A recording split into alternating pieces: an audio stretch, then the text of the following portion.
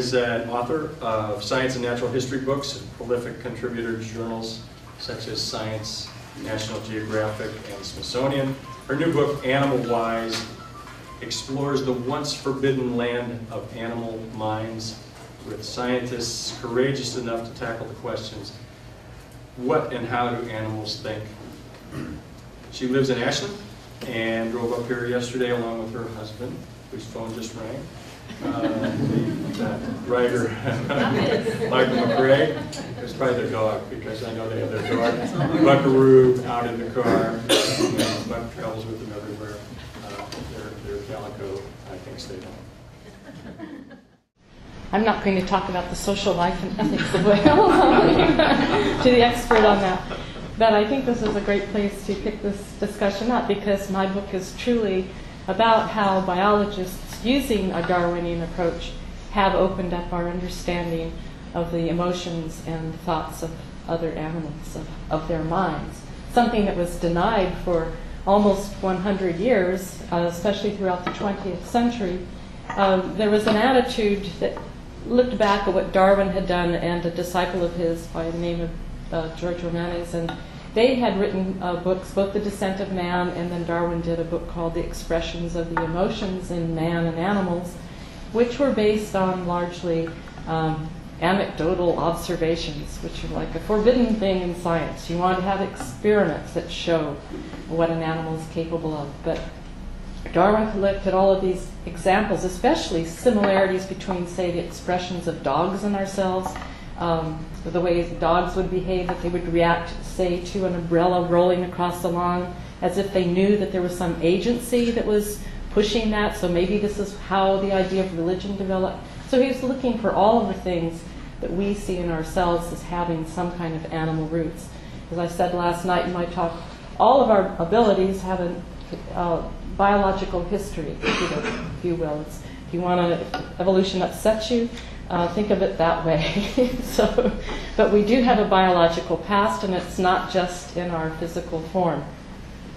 And I think um, what I'll do is just to read a couple of passages. This is how I began my book. Just, and, and it was interesting to me to do this beginning like this because I had started the first chapter a little differently, and my editor at Crown wrote back and she said, "This is very good, but what I want you to be is very overt."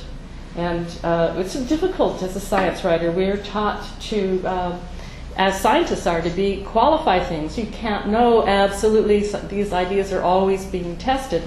So I took a deep breath and I wrote this sentence. And I remember looking at it for quite a while on the screen, wondering, can I actually say this? This is the big sentence. Animals have minds. Full stop. I started thinking of all the things, you know, jellyfish, you know, that people might say, well, they don't, you know. And, but I thought, okay, there, I did it, I did it. Uh, so to continue, they have minds, they have brains, and they use them as we do for experiencing the world, for thinking and feeling, and for solving the problems of life every creature faces. Like us, they have personalities, moods, and emotions. And I knew I was on solid ground about that because there are good scientific studies that establish all of those things. They laugh and they play. Some show grief and empathy and are self aware, and very likely conscious of their actions and intents. Not so long ago, I would have hedged these statements because the prevailing notion held that animals are more like zombies or robotic machines capable of responding only with simple reflexive behaviors. And indeed, there are still researchers who insist that animals are moving through life like the half dead. But they're so 1950s. They've been left behind as a flood of new research from biologists, animal behaviorists, evolutionary and ecological biologists like Bill Ripple, comparative psychologists, cognitive ethologists, and neuroscientists sweep away old ideas that block the exploration of animal minds. The question now is not do animals think, it is how and what do they think. So you see in the papers, I mean, it's sort of a drum roll of new discoveries that you read about almost every, every other week. It seems uh, whales have accents and regional dialects, fish use tools, squirrels adopt orphans, Uh, just a couple of weeks ago, it was that dolphins use their signature contact calls to actually call somebody else, you know, not just to fool around. Uh, rats feel each other's pain. Elephants see themselves in mirrors. All of these things which suggest that these animals have some sense of who they are as individuals, which is a difficult thing for us to accept. Now, Darwin, you know, he talked about, well, primarily about mammals and ourselves, but he even looked at insects and he was quite willing to look at earthworms. And he did a very interesting experiment with earthworms. He gave them a choice of materials to use to block their little air holes. And he noticed that uh, he put out various things, some that were softer, some that had a little bit more irritating feel to them. And the worms were very selective in what they chose to block their tunnels. They didn't just grab anything. And he wrote a paper about it and said, uh, you know, nothing had surprised him more than the discovery of intelligence in what, of all things, earthworms. But we're still, as a society, grappling with what do we do about finding emotions and thoughts in our fellow mammals. And um, this is one of the things that I struggled with as I wrote the book was how, if we consider that the other animals are separate beings, and even just mammals, or if we just you know limit ourselves to mammals, how do we refer to them? How are they? What are they? Persons or what? And and I struggled with this especially when I came, you know, had to use pronouns, and I wrote a paragraph about this. As I wrote the book, I struggled with the use of pronouns, specifically whether to use who or that to identify an animal. Is it Alex the gray parrot that did these things, or Alex the gray parrot who spoke? It's a standard practice to refer to an animal as that, but after a while I found myself unable to do this. Alex was not a that, a thing or an object, any more than was Frodo the chimpanzee that I met, or Be- Betsy the language proficient smart collie. In the end, I settled for a halfway measure, using who when writing about known individual animals, and that for more general cases. It's not a perfect solution, but it does, does illustrate the larger question and issues we face as we begin to recognize fully the cognitive and emotional natures of animals. And another uh, scientist that I met took this to another level for me when I visited her. She had discovered pain in fish, which is something that most of us who like to eat fish and enjoy going fishing don't really want to know about. so, this was my experience of going to visit Victoria Braithwaite at uh, Penn State University she had done this research originally in Scotland. She had received a grant. Um, she, she and her colleagues were interested in trying to improve life for hatchery fish. She said, We think of what happens to rats and chickens and, and uh, laboratory uh, monkeys and chimpanzees. Why not fish? Fish are animals too.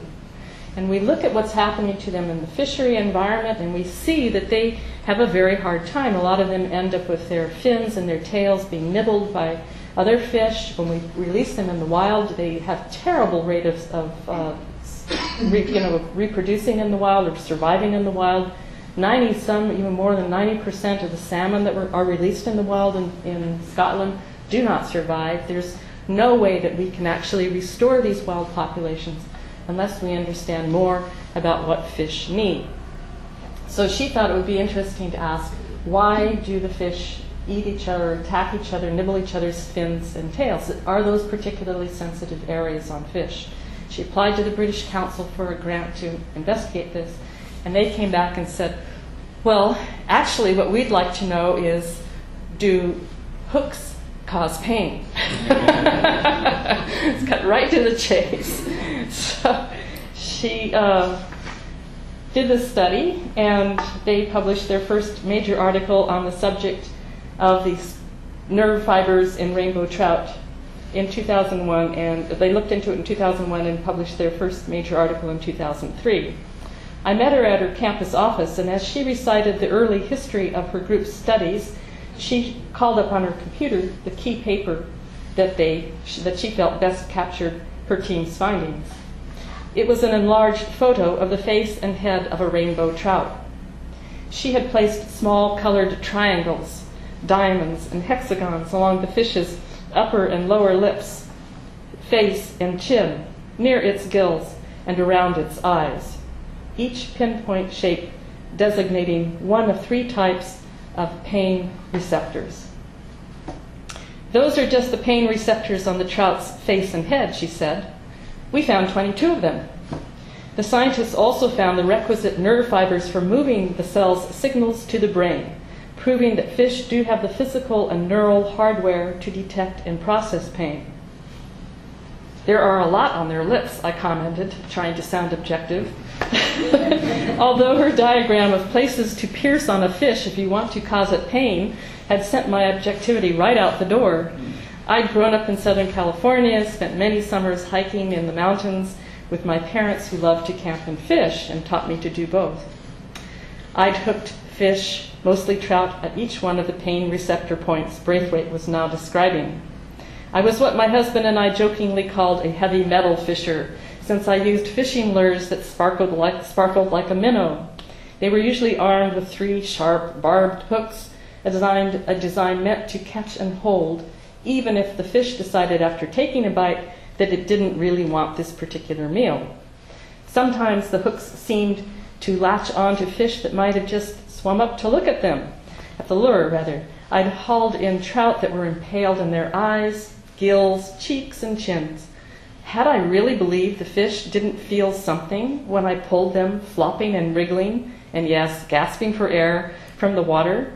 I tried not to look at the photo and turned my attention to Braithwaite, who was eagerly explaining the details of each type of pain receptor. so, she concluded brightly, I was able to tell the granting committee, yes, hooks hurt fish. Great, I said. but you know, of course, that's not really what they were asking. What the committee and most of us really want to know is do fish suffer when they sense that pain? Suffering is the cognitive side of pain. It's what we humans worry about. We don't like to cause unnecessary suffering. No, of course not, I agreed. Silently, I wondered if I would ever be able to go fishing again. No, of course not, the voice in my brain said. She clicked on the next Im- image, which was an illustration of a fish's brain. She looked like a bundle of small potatoes. She pointed out that the various features and explained that the brains of fish had long been regarded as regarded as missing many of the key structures that are found in the brains of mammals. Fish were thought to not have, a, have an amygdala, for instance, which is the area that helps process basic emotions such as fear and positive and negative rewards. Just a few years ago, however, an anatomist discovered that fish do have these structures in their brains. It was missed because fish's brains grow outward rather than inward as ours do. All their special structures are on the outside, not the inside of their brains. She pointed to the amygdala on the screen. Now, this discovery of the fish's amygdala changes everything, she said, because similar cognitive structures have been found to work similarly in all vertebrates. It's why rats are often used as human surrogates to test psychobiological drugs, for instance. It means, she added, we can get at fish's inner states, at their feelings, what gives them a positive feeling? What puts them in a negative or depressed state? I imagine that a hook through the lip would probably do the latter. yes, she said, but we need to take this one step further and see if they have a mental representation of this pain. And so she explains how she does this experiment and shows that, yes, in fact, the fish actually do mentally experience pain. She then described giving her this talk about the fish brain and pain and all to a group of uh, psychologists and um, doctors, human psychologists. And she'd given this talk a few weeks before my visit. She wondered that some of them asked her at the end of her talk if she was going to ask next if insects suffer emotionally. My response was, well, shouldn't we have a look? Wouldn't it be interesting to know if insects have some kind of mental representation of pain? And if they don't, why not? It seems very unlikely that insects would have feelings, yet these kinds of emotions have clearly shaped us and other vertebrates. They help us to learn to protect ourselves, to say, oh, that really hurts. I really don't want to face that again. What's wrong with exploring this question in other animals? Darwin would have said nothing. He would expect to find some degree of our own senses of pain and suffering in other animals, from primates to insects. For him, all creatures were capable of intense emotions. Even insects could express anger, terror, jealousy, and love by their stridulations, which are the sounds crickets make by rubbing their back legs together, and uh, could make other grating noises, he wrote, from distress or fear.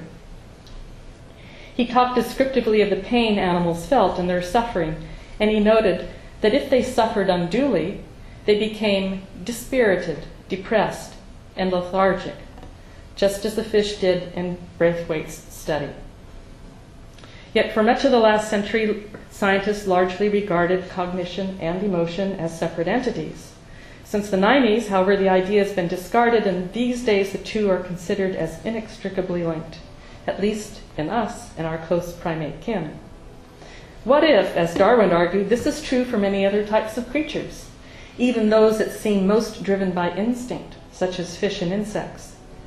In untangling the evolutionary roots of cognition, researchers are inevitably drawn into the origins of our emotions as well.